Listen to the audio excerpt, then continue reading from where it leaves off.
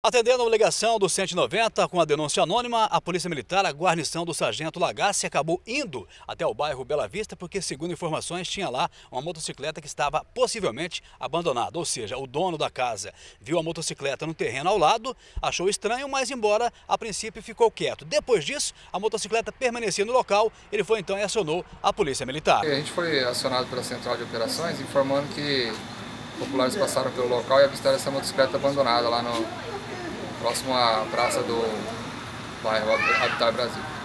Se locou até o local, constatamos que era uma motocicleta de furto, que haviam furtado há uns três dias atrás, e a gente conduziu até a delegacia aqui e entregou para o comissário para as providências.